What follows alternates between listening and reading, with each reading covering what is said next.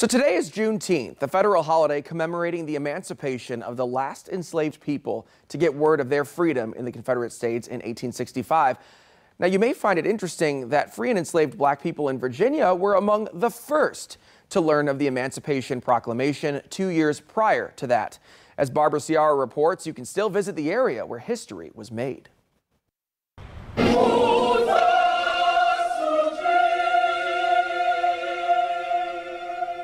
It's called Emancipation Oak, and it got its name from a great event in history.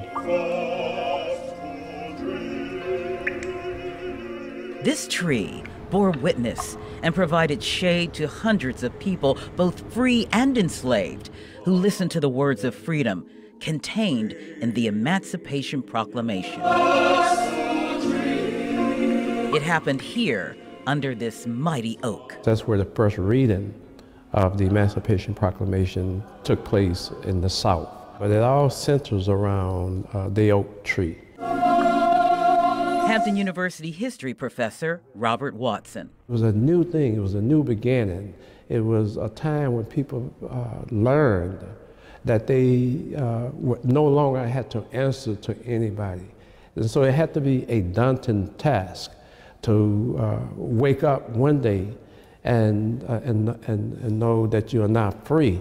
Watson says while the document written and signed by President Lincoln is celebrated, he also notes there was a political purpose to its intent. The one thing that historians are clear about now is that it was issued as an act of military necessity and not as an act of humanitarian concern. Professor Watson also reflected on the narratives of former slaves now archived who stood at this tree to hear the news, the thoughts they shared, the words they spoke when they learned they were free at last. What were they thinking? What were they feeling?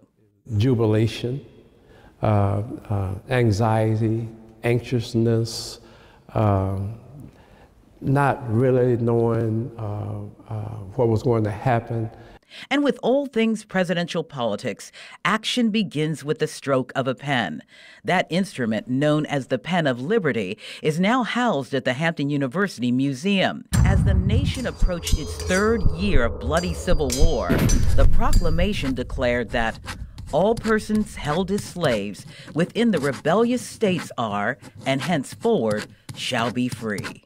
In the case of this pen, it was one of the pens that was actually used to sign uh, the Emancipation Proclamation. It's an honor to have it here. That said, the Emancipation Oak remains a living history.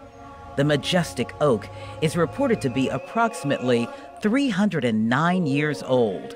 In its current state, it will likely serve as a silent witness to history yet written. It's one of the 10 iconic living artifacts in the world. It's a day trip to see the Emancipation Oak, definitely worth a visit. And this footnote in history the Emancipation Proclamation in 1863 freed African Americans in rebel states. Not all were free until after the Civil War, with the passing of the 13th Amendment, which emancipated all U.S. slaves wherever they were. And now, 156 years later, Juneteenth is a federal holiday. Barbara Ciara, News 3.